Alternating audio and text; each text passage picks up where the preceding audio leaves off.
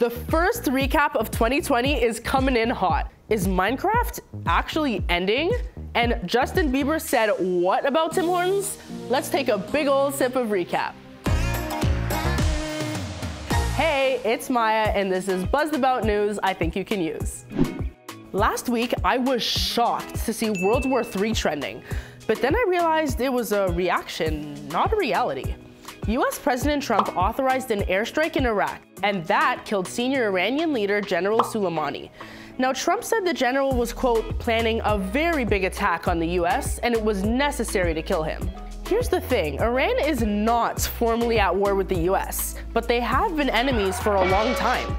So, did killing the general make life better for Americans? Are people now safer?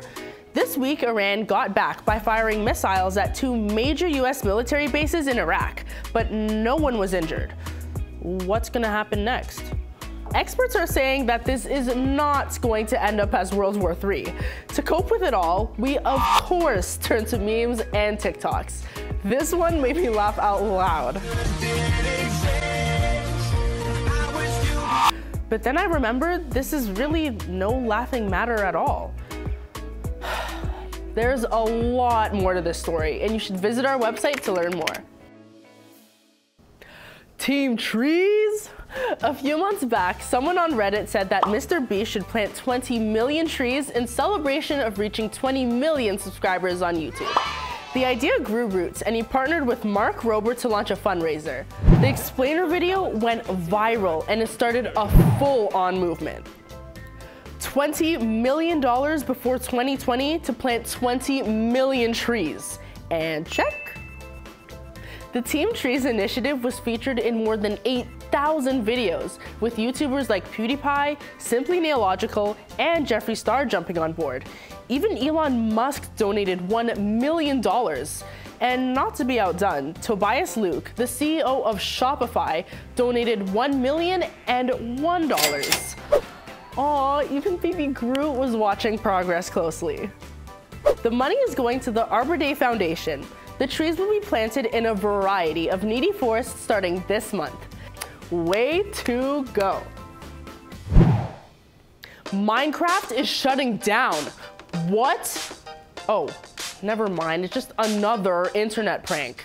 Let's recap. Last October, Channel 45 News published an article claiming Minecraft would be shutting down their servers in 2020.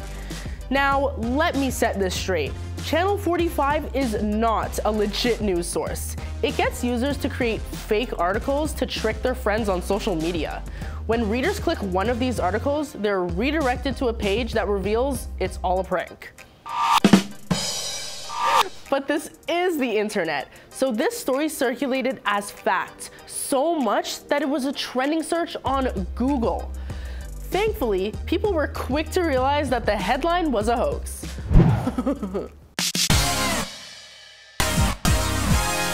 Look everyone, Ariel is here. You just got back from Nicaragua. How was it? It was great. I got to see all my family again and the weather was amazing. Oh, I'm so jealous, but that's not what we're here to talk about. CES is on in Vegas and you must be loving it. Yeah, the Consumer Electronics Show has been happening since 1967 and thousands of products are announced at the convention. So it's a great week to be a techie. Actually, Ivanka Trump was the keynote speaker this year, but did not kick things off on a high. Her attendance was bashed by pretty much everyone. Why would they even pick her to speak? She was supposed to talk about technology's role in the workforce of the future, but her lack of knowledge with being part of any real workforce did not go over well, and hashtag boycott CES started to trend.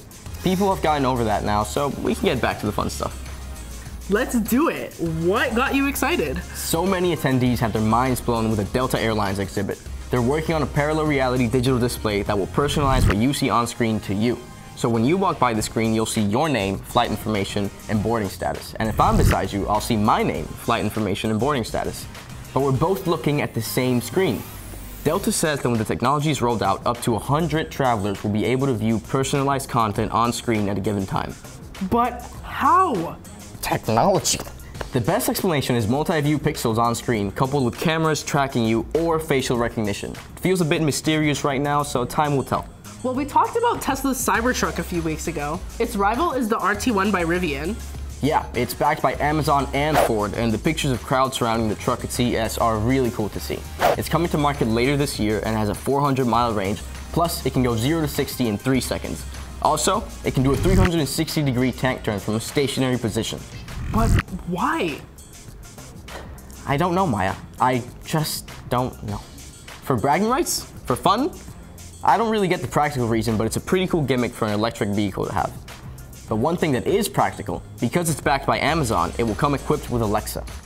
Okay, what else? What else? How about this Avatar-inspired concept car from Mercedes?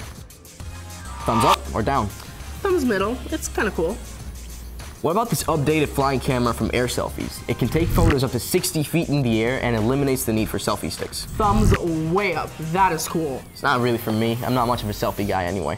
Do we like this little backpack from Pix? You can customize the LED pixels and display your own drawings or text, but you would be paying more than $200 for a backpack.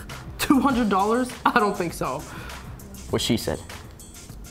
All right, I saw the pizza bot. It makes pizza without any human interaction. Yeah, you sent it to me, and I thought it was really cool at first, but then I kind of started to feel bad for all the pizza makers losing their jobs. I just want one in my house. Yeah. Okay, what's your favorite pizza topping? Pepperoni. Ugh, What's yours? olives. Ugh.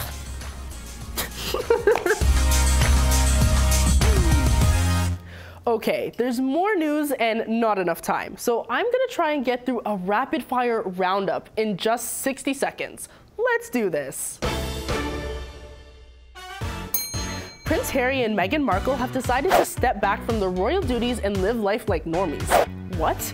There are a lot of questions to be answered. Will they still be a Duke and Duchess? This Twitter user sees it as an endgame. Next, Bieber is back. His new song Yummy is topping charts. The video racked up more than 27 million views on YouTube in three days. He started a TikTok account last week, and of course it has over 2 million followers. He just confirmed he has Lyme disease, and his upcoming YouTube docuseries put an unbelievable $20 million in his pocket. And he went viral last week complaining about the new Tim Hortons coffee lids, which led to ridiculous posts like this. 72 OG lids for only $1,440. How vintage. Next, Gene Simmons, frontman of the classic rock band Kiss, started a viral debate last week. He likes to eat his bowl of cereal with ice cubes so the milk stays extra cold. Disgusting. Yeah, I did it. Take your cereal back. I did it. All right, everyone, that's it for this week's recap. Come back next week and let's do it all over again. Ish.